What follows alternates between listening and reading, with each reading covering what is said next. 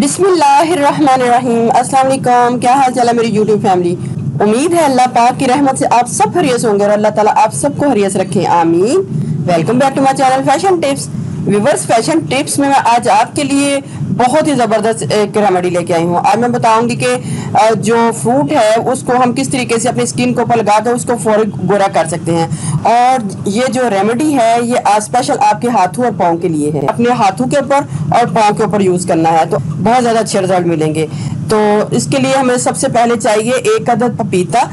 आजकल पपीता भी बहुत ज़्यादा मार्केट में आया हुआ है। आप पपीता भी ले सकते हैं और इसकी जगह जापानी फल को भी ले सकते हैं। दोनों चीज़ें आप इसमें यूज़ कर सकते हैं। इसके अलावा आप अंगूर को भी ले सकते हैं।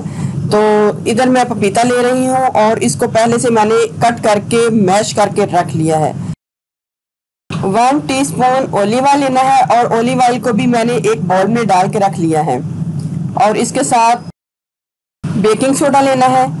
याद रहे कि आपने बेकिंग पाउडर नहीं लेना बेकिंग सोडा लेना है। अब मैं इस पैक की तैयारी शुरू करती हूँ। तो आपने जिस बाउल के बीच में ओलिव ऑयल डाला होगा वन टीस्पून ओलिव ऑयल डाला होगा, उसके अंदर हमने वन टीस्पून जो पपाया है, उसका पल्प डाल लेना है और हाफ़ टी स्पून हमने बेकिंग सोडा को ऐड कर लेना है।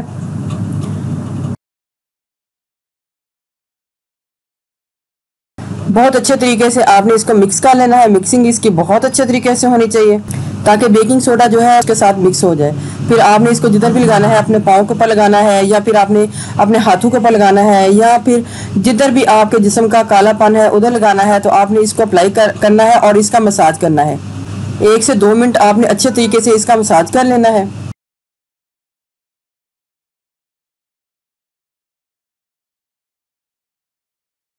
मसाज करने के बाद आपने 10 मिनट के लिए इसको छोड़ देना है ताकि जितना भी मटेरियल है स्किन के ऊपर ड्राई हो जाए। इधर 10 मिनट गुजर चुके हैं और जितना भी मटेरियल है सारा ड्राई हो चुका है।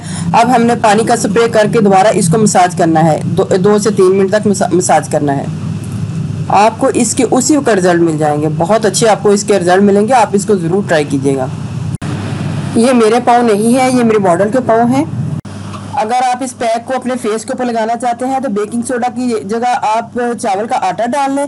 और अगर आपने हाथों के ऊपर लगाना चाहते हैं तो बेकिंग सोडा की मकदार थोड़ी सी कम भी डाल सकते हैं।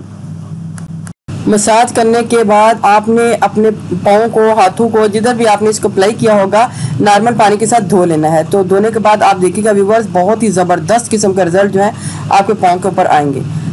आप इसको घर में ज़रूर ट्राई कीजिएगा, आपको इसका बहुत अच्छे रिज़ल्ट मिलेंगे। व्यूवर्स अगर आपको मेरी ये वीडियो अच्छी लगी तो मेरे चैनल को सब्सक्राइब कीजिएगा।